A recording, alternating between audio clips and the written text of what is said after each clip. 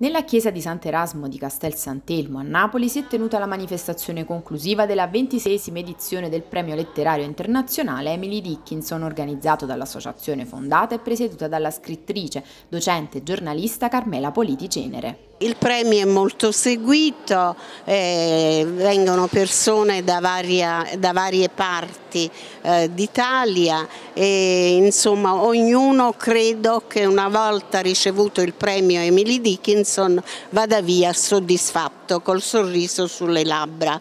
Quindi direi che questo è un premio che regala un sorriso un sogno perché credo che il sorriso sia la cosa più importante che noi possiamo regalare agli altri. La commissione esaminatrice ha giudicato tante opere di letterati provenienti da tutta Italia e dall'estero. Inoltre è stato istituito un riconoscimento nella sezione speciale a personalità del mondo della cultura e del giornalismo che si sono distinte per meriti ed elevate doti umane.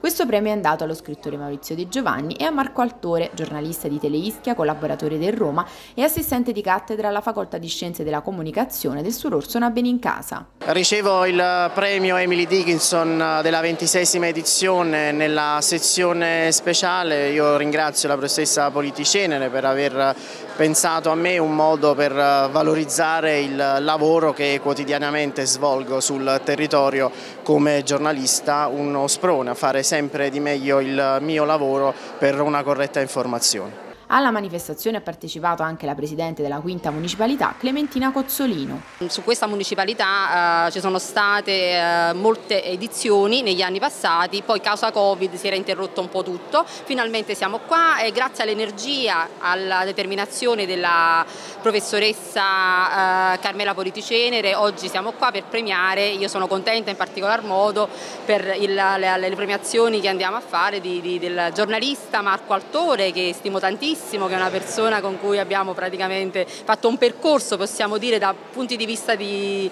eh, lavorativo di, di, di diverso, istituzionale lavorativo, e dello scrittore Maurizio De Giovanni. Quindi sono veramente contenta di stare qua come Presidente di Municipalità e presenziare a questa premiazione.